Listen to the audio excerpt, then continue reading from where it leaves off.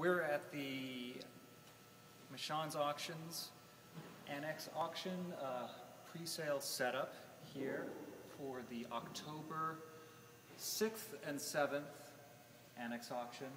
And we're going to take a look at some of the highlights of the things that, that will be out in, in the auction. And they're still setting up, so there are a lot of things that we can't necessarily get to yet, but um, let's see what is coming up. Lot number 511, we have a tall dresser, which is in really, really good shape. It's got a marble top and uh, six drawers. Looks like it came with the key as well, which is not necessarily that common to actually find these in, in such good shape and actually have the key. So let's get an overall view. There's a lot of different things. The artwork has not been set up on the back wall, so I can't give you a preview of that yet. But there is a lot of artwork in the aisles. Asian furniture. Looks like some mallets. Here we have an Asian re relief carving what looks like some sort of a festival or battle scene. Lot number 509 thing's really heavy, solid wood. Painting of the Pope.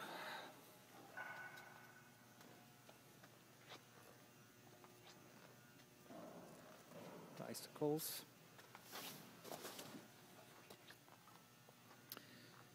Looks like a taxidermied wild turkey. No home should be without one. Artwork contemporary couch, wine racks, burlwood table. Oh, this is a nice table here. Looks like a breakfast nook. Lot number 641 with two tables. Looks like it might be fairly new, but it's in great condition. Here's a nice dresser.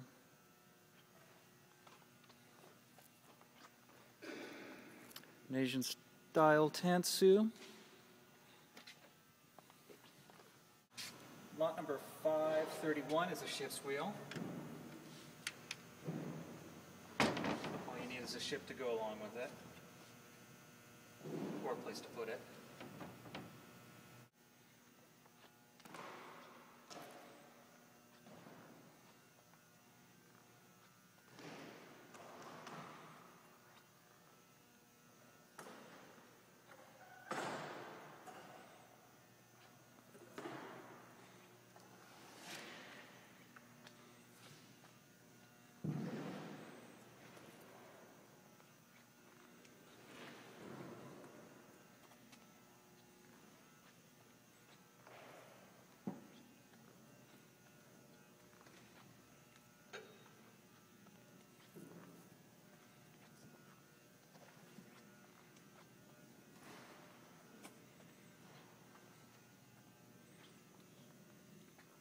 Ladies' hats.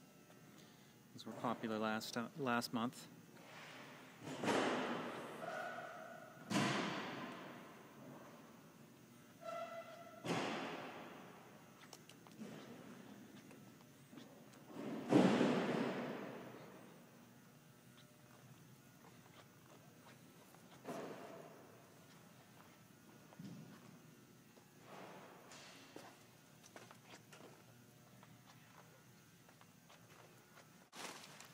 Like we got some stereo equipment here, a couple of Marantz, Model 250 receiver and amplifier.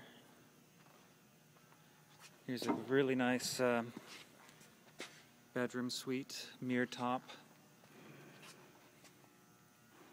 Lot number 987. Looks like it's this whole row pretty much. Here we have a, an interesting rug. I'm not sure what design it is, but it will be lot number 527. Really good color. Doesn't look really faded or anything like that. Some Asian style chairs. Rocking chair.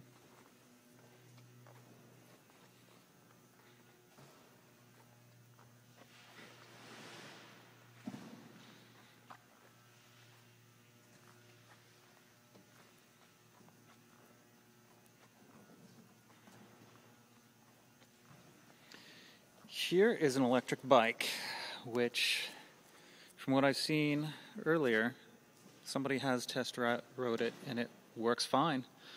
Um, not necessarily for freeway speeds or anything like that, but maybe just getting around and having some fun. This is a Casino Pit Boss booth, which you don't get those very often in auction. But it looks very authentic.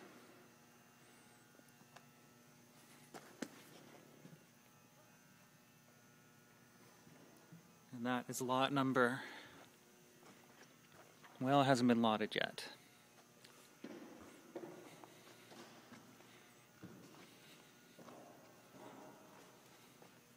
We have some taxidermy deer heads here.